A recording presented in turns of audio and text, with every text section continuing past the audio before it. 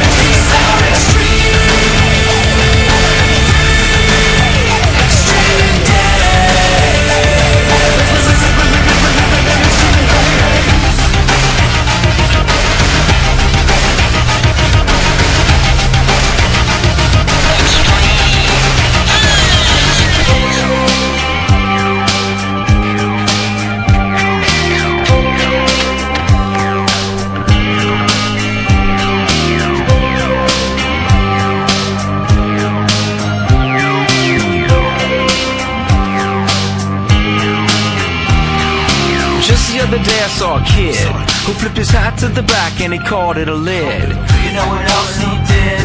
He stacked books from the floor to the ceiling. He said something about trying to get to heaven. He was only 11, but he climbed to the top with outstretched arms and he screamed at the top of his lungs. Move out my way! Give up the way!